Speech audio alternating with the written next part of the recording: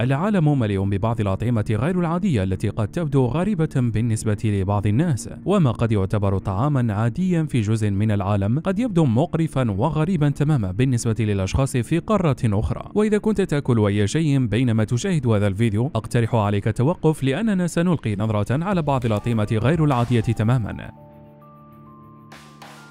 أكل الخفافيش. ما هي أفضل طريقة لبدء فيديو حول الأطعمة الغريبة من الحديث عن حساء الخفافيش سيء السمعة وبالمناسبة يقال أن حساء الخفافيش هو أحد أسباب تفشي فيروس كورونا الذي يدمر حرفيا حياة الناس اليوم. هذا الفيديو يأخذنا إلى شمال سولاويزي إندونيسيا حيث يعد تناول حساء الخفافيش ممارسة شائعة إلى حد ما. يقال أن مذاق الخفافيش مثل الدجاج لكن قوامه مختلف تماما. يمكنك رؤيته في السوق حيث تباع مئات الخفافيش إلى السكان المحليين المتلهفين جدا وهذا واحد يبلغ طوله حوالي ثلاثة أقدام. وكما ترون هذا السوق هو موطن لجميع أنواع لحوم الخفافيش الذين يتم اصطيادهم في الغابة ويبدو أن هذا هو الطعام الأكثر شعبية هنا. الفيران المشوية. دعنا نتخطى هذا بسرعة كبيرة قبل أن نتقيأ. إن كنت مثل معظم الناس فإن رؤية الفيران ليست أكثر تجربة ممتعة ولدي شعور بأن لديك نفس رد الفعل. جميع الفيران تأكل القمامة وتحمل البراغيث وقد عرف أنها تحمل العديد من الأوبئة. لكن قد تجد أنه من الغريب بعض الشيء أنه في بعض الأماكن لا يقتلون الفيران بل يأكلونهم. في بلدان مثل فيتنام وكمبوديا على سبيل المثال يمكنك الذهاب إلى المطعم وطلب الفيران على العصا. وخلال موسم صيد صيد الفيران تزداد شعبية هذا الطعام الغريب كثيرا. لا يتم تقطيع الفيران إلى قطع بل يتم شواء الفيران بالكامل بعد إزالة الأحشاء الداخلية والجلد.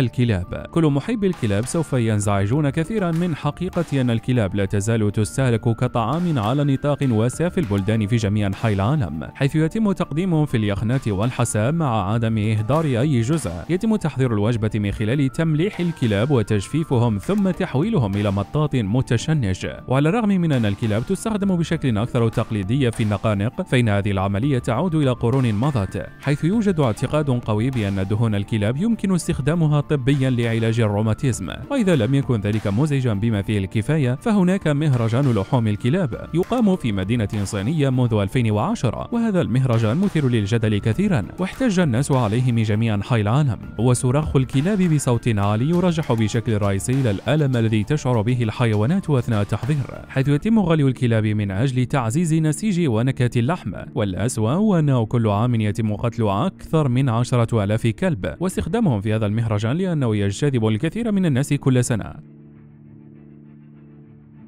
جبن الديدان إذا كنت تعتقد أن الفيران المشوية ليست كافية بالنسبة لك فما رأيك بجبن الديدان؟ لكن يجب أن أحذرك من أن هذا ليس كما الجبن العادي الذي تتناوله كل صباح بل هو في الواقع خطير جدا. هذا الجبن الخطير يأتي من سردينيا في إيطاليا ويسمى كازو ماتسو الذي يترجم إلى الجبن الفاسد. لكن يجب أن أخبرك أنه أسوأ بكثير مما تظن. كازو ماتسو هو في الواقع مليء بالديدان وتم حظره بسبب المخاطر الصحية التي يسببها ومن أتيحت له الفرصة لتناول الجبن المتعفن يقول أن له نكهة مميزة وملمس ناعم لكن الأمر المثير للإشمئزاز بما يكفي هو أنه يجب تناول جبن كازو ماتسو مع الديدان الحية التي لا تزال تهتز في الداخل. ويفترض أن الديدان الميت علامة على أن الجبن لم يعد آمنا للأكل لكن حتى مع الديدان الحية يأتي الجبن مع بعض نصائح الأمان. أولا يجب أن يؤكل مع إغلاق العينين وذلك ليس لتجنب الديدان في الفم بل لأن الديدان يمكنهما القفز في العينين. وثانيا من المهم مضغ حفظهم جيدا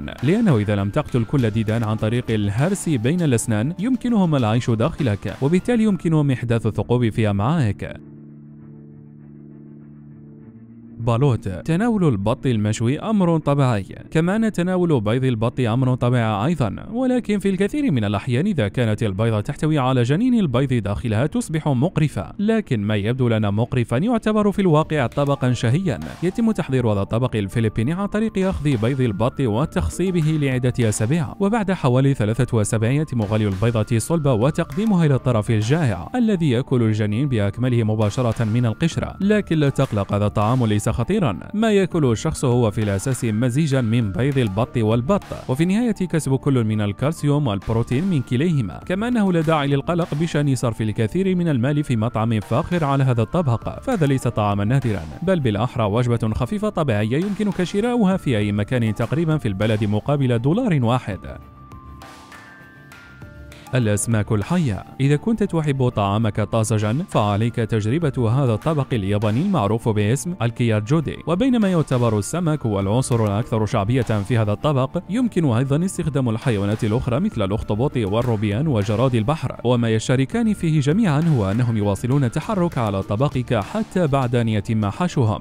هذا أمر وحشي بالفعل. أولا سيختار العميل الحيوان الذي يرغب في تناوله من الخزان ثم يقوم الشيف بوضع الحيوان في الطبق أمام عيون العملاء بينما لا يزال على قيد الحياة. وأخيرا يتم تقديم الحيوان في الطبق ولحمه في الأعلى لتزيين وقلبه لا يزال ينبض.